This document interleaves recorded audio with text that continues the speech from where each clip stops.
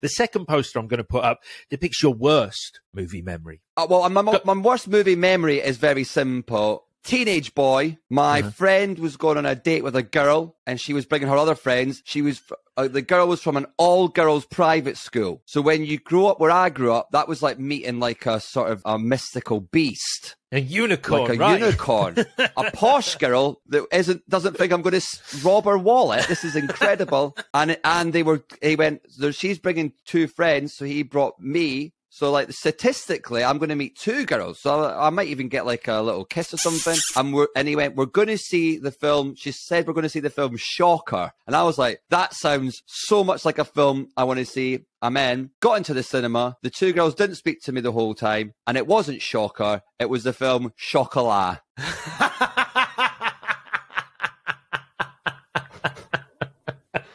Which, as a ah. 13 year old boy sitting